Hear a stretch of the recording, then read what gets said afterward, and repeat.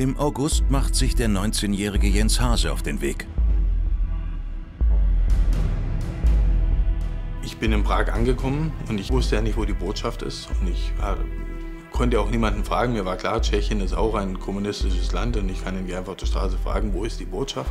Ich wusste gar nicht, wo ich hinlaufen sollte. Und dann habe ich aber die Flüchtlinge gerufen und die gesagt haben, hierher, hierher. Ich bin dann nach Gehör gelaufen und dann habe ich eben diese Trommel an dem Zaun gesehen und das ging dann alles so schnell. Also ich hatte die Uniformierten im Genick und ich hatte das Ziel vor Augen und das waren Bruchteile von Sekunden. Also ist einfach passiert.